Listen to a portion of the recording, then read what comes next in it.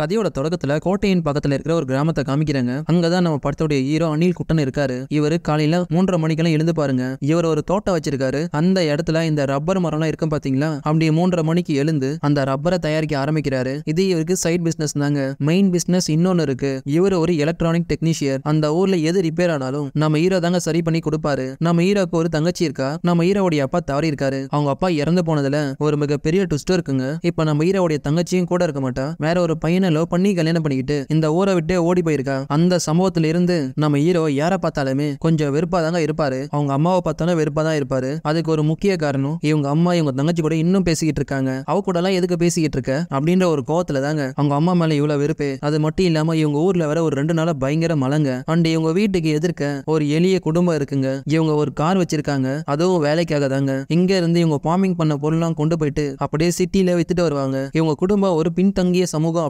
அப்படின்றதுனால நம்ம ஹீரோக்கு அவங்கள பார்த்தா சுத்தமா பிடிக்காதுங்க. ஆனாலும் நம்ம ஹீரோவுடைய அம்மா அந்த குடும்பத்து கூட ரொம்ப ஜாலியா பேசுறாங்க. அதுவும் நம்ம ஹீரோக்கு பிடிக்காது. சரி ஓகே இவருக்கு என்னதான்ப்பா பிடிக்கும்? எது கேட்டாலும் பிடிக்காது அப்படின்னு சொல்றீ அப்படின்ற மாதிரி கேட்டா இப்படி கேள்வி கேட்டாலும் பிடிக்காது. டக்குன்னு அடிச்சிருவாரு. இப்போ ஒரு பொண்ணு லேப்டாப் உடஞ்சு போச்சுன்னு சொல்லி அப்படியே நம்ம ஹீரோ கிட்ட சரி பண்ண கொடுக்க நம்ம ஹீரோ எப்படியே சரி பண்றாருங்க. ஆனா என்ன பாத்ரூம் கதவுக்கு போடுற ஜாயிண்டர் எல்லாம் அந்த லேப்டாப்ல போட்டு வச்சிருக்காரு. இந்த பொண்ணுக்கு நம்ம ஹீரோ மேல ஒரு கண்ணுங்க. பட் அதுவும் நம்ம ஹீரோவுக்கு சுத்தமா பிடிக்காது. ஆக மொத்தத்துல சொல்லணும்னா நம்ம ஹீரோ கல்ல மூன்றரை மணிக்கு எழுந்து இருப்பாரு ரப்பர் மரத்துல போயிட்டு ரப்பர் எடுப்பாரு. அதுக்கப்புறம் அவருடைய எலக்ட்ரானிக்ஸ் வேலையெல்லாம் பார்ப்பாரு மதிய ஒரு குட்டி தூக்கத்தை போட்டு திரும்பி நைட்டு முழுக்க வேலை பார்த்துட்டு வயிறு முட்டை சாப்பிட்டுட்டு அப்படியே நிம்மதியா தூங்குவாரு. ஆனா அன்னைக்கு ராத்திரி தூங்கும் போது மட்டும் இவருக்கு ஒரு குழந்தை அழுகிற சவுண்டு கேட்டுக்கிட்டே இருக்குங்க. இவரு செம்ம வெறுப்பாக்குறாரு. போன் எடுத்து நோண்டுறாரு. அப்படியே சுத்தி முத்தி பாக்குறாரு. இவருக்கு சுத்தமா தூக்கம் வரலைங்க. அப்படியே காலையில மூன்றரை மணி ஆகுது. இந்த குழந்தை அழுகிறதுனால நமக்கு தூக்கம் கெட்டு போச்சு அப்படின்ற ஒரு பெரிய வெறுப்போட திரும்பி அடுத்த நாள் காலையில நாலரை மணிக்கு அதே குழந்தை பயங்கரமா அழுகுது. பொறுத்தது போதுன்னு சொல்லி இப்ப அந்த வீட்டுக்குள்ள டார்ச் அடிச்சு பாக்குறாரு. அந்த குழந்தையோட அம்மா ஒரு மாதிரி டென்ஷன் ஆகுறாங்க. இப்ப அந்த குழந்தையோட அப்பாவுமே வெளியே வந்து அடுத்தவங்க வீட்டுல இந்த மாதிரி எல்லாம் டார்ச் அடிக்கிறியே உனக்கெல்லாம் கொஞ்சமாச்சும் மேனஸ் இருக்கு அப்படின்ற மாதிரி எல்லாம் கத்த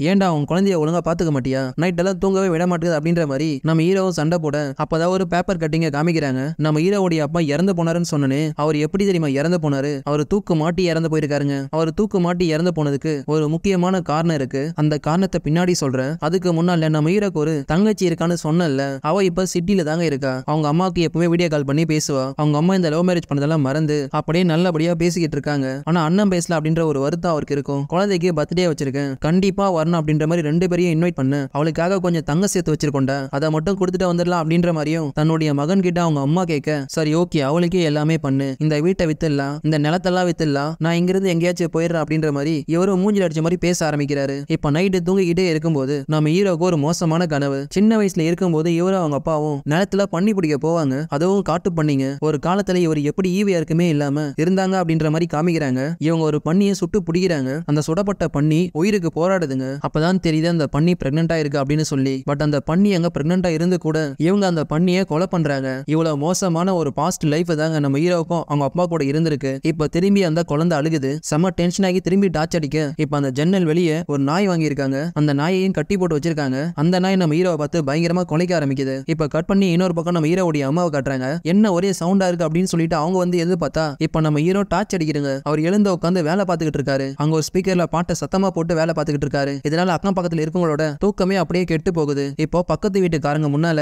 இவங்க அம்மா தலங்குனிஞ்சு நிக்கிறாங்க. இவருக்கு டிஸ்டர்ப் ஆயிருக்குல்ல. அதனால மத்தவங்களும் தூங்கக்கூடாது. அதுதான் இவருடைய நல்ல எண்ணம். இப்ப நம்ம ஹீரோவுக்கு எல்லாமாவே அவருடைய மாமா தாங்க இருக்காரு. அப்படியே அவங்க மாமா கூட ஒரு நாள் ஒயின் ஷாப்ல சரக்கடிக்கலான்னு போக அதே ஒயின் ஷாப்ல அந்த எதிர் வீட்டுக்காரனும் இருக்காங்க. அப்ப பேச்சு வாக்குல ரெண்டு பேருக்கும் அப்படியே சண்டை வருது. ஏன் ஏன் எப்ப பார்த்தாலும் என் குழந்தை மேல டார்ச் அடிச்சுக்கிட்டே இருக்கு? வீட்டுக்குள்ள பால் எல்லாம் கொடுப்பாங்க. லேடிஸ் கொஞ்சம் அன்னீசியா ஃபீல் பண்ண மாட்டாங்களா? அப்படின்ற மாதிரி அந்த ஆளு நியாயமா கேட்க அங்கதாங்க நம்ம ஹீரோ உண்மையா சொல்றாரு. ஏன்டா நீ எல்லாம் என்ன பார்த்து கேள்வி கேட்கலாமாடா? கீழ் ஜாதி பயல நீ எப்பறம் என் வீட்டுக்கு எதிர்க்காவே இருக்கலாம் அப்படின்னு அவருடைய ஜாதி பேரை சொல்லி அப்படியே மட்டம் தட்டி அதுக்காக தான் டார்ச் அடிச்சேன் அப்படின்ற மாதிரி நம்ம ஹீரோ சொல்ல இப்ப இவங்க ரெண்டு பேருக்கு நடுவுலயே சண்டை வர போலீஸ் ஸ்டேஷன்ல போயிட்டு இந்த ஒரு விஷயம் முடியுதுங்க. போலீஸ்காரங்க கிட்ட கெஞ்சுறதுனால இவங்க ரெண்டு பேரையுமே கேஸ் இல்லாம வெளியே அனுப்புறாங்க. ஆனா நம்ம ஹீரோவுக்கு மட்டும் ஒரு பெரிய வார்னிங்க கொடுக்குறாங்க. இந்த மாதிரி ஜாதி பேரெல்லாம் சொல்லி மட்டம் தட்டினா எஃப்ஐஆர் போட்டு உள்ள வச்சிருவோம் அப்படின்ற மாதிரி நம்ம ஹீரோவை மிரட்ட நம்ம ஹீரோவோட அங்கிள் அந்த இடத்துல கொஞ்ச நாளைக்கு முன்னாடி அவருடைய அப்பா தூக்கு போட்டு இறந்து போயிட்டாரு. அதுல இருந்துதான் இவன் மனநலம் பாதிக்கப்பட்டு அடிக்கடி இந்த மாதிரி டென்ஷன் ஆயிடுவான். கொஞ்சம் மன்னிச்சு விட்டுருங்க சார் அப்படின்ற மாதிரி எப்படியோ எழுதி எல்லாம் கொடுத்துட்டு அங்கிருந்து வெளியே வராங்க. வழக்கம் போல அந்த ஊர்ல பயங்கரமா மழை பெஞ்சுக்கிட்டு இருக்கு. இவங்களோட பைக்கை எடுத்துட்டு போக முடியல. அங்க ஒரு வேன் வருது. அந்த வேன் மூலியமா நம்ம ஹீரோ சண்டை போட்டாரு. அந்த பக்கத்து வீட்டுக்காரரு. அவருடைய பக்கத்திலே உட்கார்ந்து வராரு. இப்பதான் ஆக்சுவலி இவருடைய அப்பா எப்படி தூக்க மாட்டி இறந்து போனாங்க அப்படின்ற மாதிரி காமிக்கிறாங்க. நம்ம ஹீரோவுடைய தங்கச்சி கல்யாணம் நிச்சயிக்கப்பட்டிருக்குங்க. ரொம்ப சந்தோஷமாவே இவரு எல்லா வேலைகளையும் இழுத்து போட்டு பார்த்திருக்காரு. ஆனா அவங்களுடைய தங்கச்சி மட்டும் ஏதோ ஒரு விஷயத்த மனசுல அடக்கிக்கிட்டு அப்படியே வெளியே சொல்ல முடியாம இருக்கா? அப்படி நம்ம ஹீரோ அவ தங்கச்சிக்கு பிடிச்ச ஒரு ட்ரெஸ்ஸை வாங்கிக்கிட்டு வீட்டுக்கு வரும்போதும் உன் தங்கச்சி ஓடி போயிட்டாப்பா அப்படின்ற மாதிரி ஒரு நடுங்க வைக்கிற விஷயத்த அங்க சுத்தி இருக்கிறவங்க சொந்தக்காரங்க சொல்ல நம்ம ஹீரோ அந்த இடத்துல கிருகிருத்து போறாருங்க. இப்ப அப்படியே கட் பண்ண நிகழ்காலத்தை காமிக்கிறாங்க. நம்ம ஹீரோ சிட்டிக்கு வந்து அங்க ஒரு அரசியல்வாதி வீடு இருக்கு. அவர் வீட்டுல இந்த டிவி டிஷ்ல ஏதோ ரிப்பேர் போல. அதை அங்க சரி பண்ணிக்கிட்டே இருக்க. இவங்க எதிர் வீட்டுல தாங்க நம்ம ஹீரோவுடைய தங்கச்சி இருக்கா? அண்ணா என் கூட பேச மாட்டியானா எவ்வளவு வருஷம் கழிச்சு பாக்குறேன். ஏன்னா மூஞ்சி கொடுத்து கூட பார்க்க மாட்டேன் என்கிட்ட பேச மாட்டேன் அண்ணா சாரினா என்ன மன்னிச்சு நான் பேசினா பேசினான்ற மாதிரி அப்படியே தங்கச்சியும் கெஞ்சிரா அப்பா தூக்குல தொங்கும் போது நீ அந்த இடத்துல இல்ல.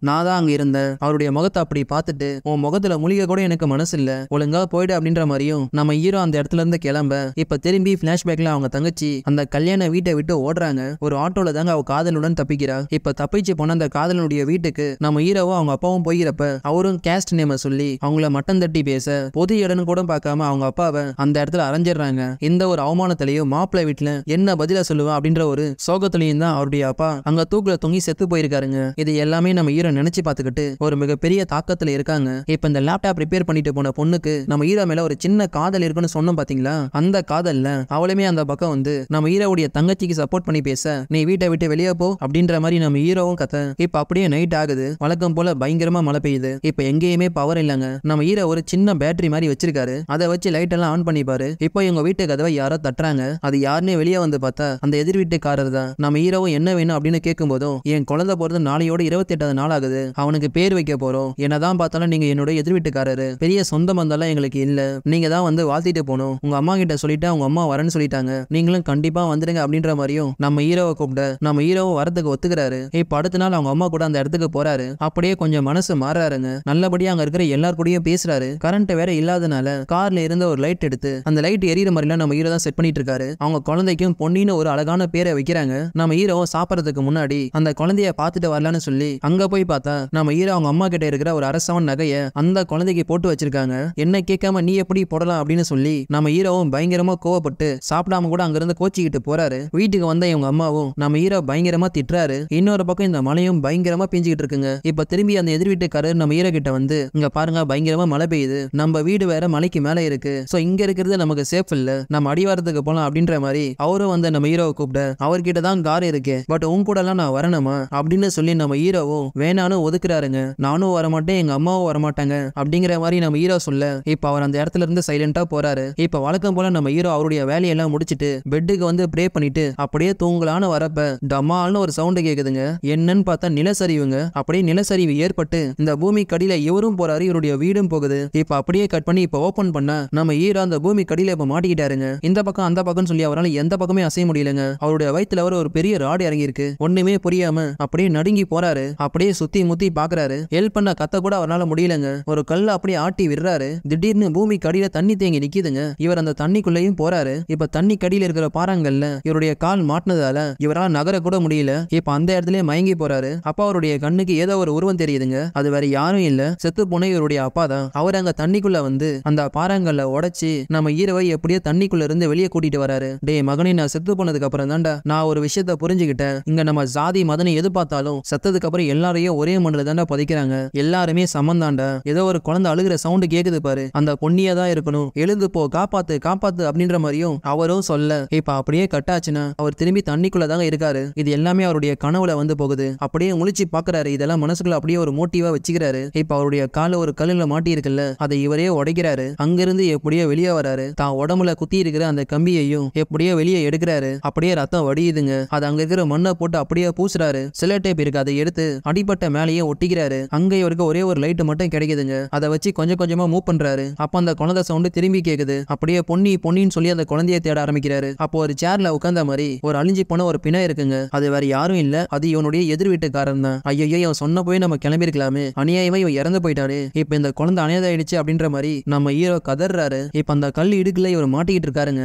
எப்படியா சின்ன சின்ன பொந்துகள் எல்லாம் போந்து இவரு வெளியே வராரு. அந்த குழந்தை அழுகிற சவுண்ட் இன்னும் அதிகமா கேட்க இவர் கையில ஒரு கிரிகிரிப்பு இருக்கு. அதை எடுத்து ஆட்டிக்கிட்டு அப்படியே பொன்னி பொன்னின்னு கத்திக்கிட்டு இருக்காரு. இப்ப இவர் ஒரு சரிவுல மாட்டிக்கிட்டு இருக்காருங்க. அந்த இடத்துல ஒரு பேட்டரி இருக்கு. அதுல இருந்த ஒரு கம்பி எடுத்து அந்த கம்பியை மேல தூக்கி போட்டு அந்த கம்பியோட உதவினால அப்படியே கொஞ்சம் கொஞ்சமா மேல வராரு. இப்ப அட்லாஸ்ட் இவரால முடியலங்க. ஒரு இடத்துல படுத்து அந்த குழந்தைய தன்னால கண்டுபிடிக்க சமாளிக்க முடியலன்னு சொல்லி அப்படியே கதறி அழுக. அப்போ கொஞ்சம் போல வெளிச்சம் அவருடைய மூஞ்சி மேலேயே விழுக. எழுந்து பார்க்கும்போதும் அந்த குழந்தை சைடுல படுத்துக்கிட்டு இருக்குங்க. அதை பார்த்த உடனே இவர் பயங்கரமா சந்தோஷப்படுறாரு. உயிரோட இருக்கிறத நினைச்சு அந்த குழந்தைய கையோட தூக்கிக்கிட்டு இந்த குழந்தை மேலேயே டார்ச் அடிச்சோம். இதை போய் கேஸ்ட பார்த்து இந்த மாதிரி எல்லாம் பண்ணிட்டோமே. அடடா பாக்குறதுக்கு தன்னுடைய தங்கச்சி குழந்தை மாதிரியே இருக்கே அப்படின்னு சொல்லி அங்கதாங்க நம்ம ஹீரோ மனசும் திருந்துறாரு. அண்ட் அட்லாஸ்ட் அப்படியே கொஞ்சம் மேல வராருங்க. இந்த ஃபயர் டிபார்ட்மெண்ட்ல இருந்து வந்து நம்ம ஹீரோவையும் காப்பாத்த வராங்க. என்னுடைய அம்மாங்க சேஃபா தான் இருக்காங்களா? அப்படின்ற மாதிரி நம்ம ஹீரோ கேட்கும் போதும் எல்லாரும் சேஃபா தான் இருக்காங்க அப்படின்னு சொல்லி நம்ம ஹீரோவை அந்த குழந்தைய அப்படியே மேல தூக்க பல போராட்டங்களுக்கு அப்புறம் அந்த மண்ணு கடியில இருந்து நம்ம ஹீரோவோ வெளியே வராரு. குழந்தைய சேஃபாங்கிறது தூக்கிட்டு போறாங்க. நம்ம ஹீரோவால முடியலங்க. அந்த இடத்துல நடந்த எல்லாத்தையும் நினைச்சு கதறி அழுக இப்ப ஹாஸ்பிட்டலையும் சேர்க்கறாங்க. அந்த இடத்துல தான் ஒரு உருக்கமான விஷயத்தையும் பாக்குறாங்க. நம்ம ஹீரோவுடைய அம்மா இறந்து போயிட்டாங்க. அவரால் இந்த பிணத்தை கூட பார்க்க முடியல. அம்மா போனதுக்கு அப்புறம் நம்ம ஹீரோவோட தங்கச்சியும் அவங்க கணவரும் தான் நம்ம ஹீரோவை பாத்துக்கிறாங்க நம்ம ஹீரோவும் பழசெல்லாம் மறந்து ஒரு புது மனுஷனா ஜாதி பார்க்காம மதத்தெல்லாம் மறந்து இவங்க கூட அப்படியே ஒன்னா இருக்க. இப்போ தங்கச்சி வீட்டுக்காரர் உதவியோட அப்படியே பாத்ரூம் போலான்னு எழறாரு பாத்ரூம் கூட்டமா இருந்ததுனால அப்படியே மெல்ல முன்னாடி இருக்கிற ஒரு ஐசியூக்குள்ள போறாரு. அங்கதாங்க அந்த குழந்தை பொன்னியே இருக்கா. அப்பதான் கேள்விப்படுறாரு பொன்னியோட அம்மாவும் இறந்து போயிட்டாங்க அப்படின்னு சொல்லி. இதோ என்ன மாதிரி அனாதை ஆயிடுச்சு அப்படின்னு சொல்லி. இதுக்கப்புறம் பொன்னிய இவருடைய பொண்ணை ஏத்துக்கிறாரு. அந்த மண்ணு கடியில இருக்கும் போதும் இவர் ஒரு கிலுகிலுப்பு எடுத்து ஆட்டினார்ல. அந்த பொம்மையை வச்சு திரும்பி பொன்னிக்கு விளையாட்டு காமிக்க அப்படியே கண் கலங்கி போறாருங்க. சோ இப்படி ஒரு விஷயத்தோட இந்த படமும் முடியுது. தேங்க்யூ